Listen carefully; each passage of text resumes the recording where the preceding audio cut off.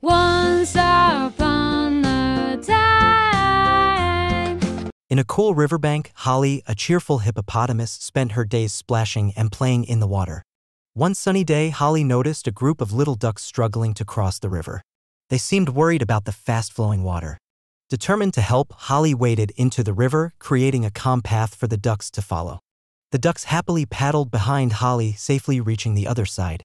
They quacked with joy, thankful for Holly's assistance. News of Holly's kind act spread among the animals, and soon she became a popular friend in the river community. As the days passed, Holly continued to be a source of happiness in the river, always ready to lend a helping hand to her fellow aquatic friends.